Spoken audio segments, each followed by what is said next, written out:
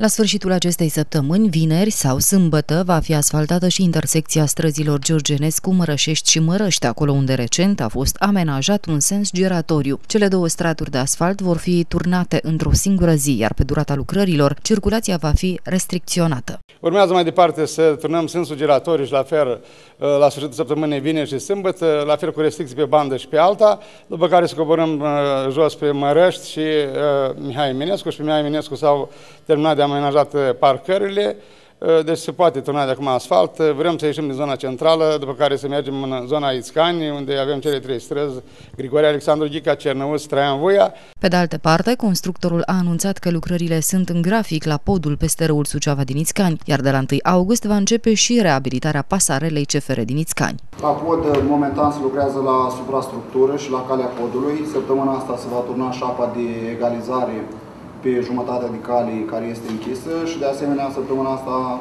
se lucrează cu mortarele speciale la suprastructură, uh, la intradosul planșeului, cum ar veni. Se vor aplica morse și uh, vopseli speciale anticorozive pentru beton. Se lucrează conform proiectului, conform graficului de post. Uh, o să demarăm în luna august lucrările la, la pasaj.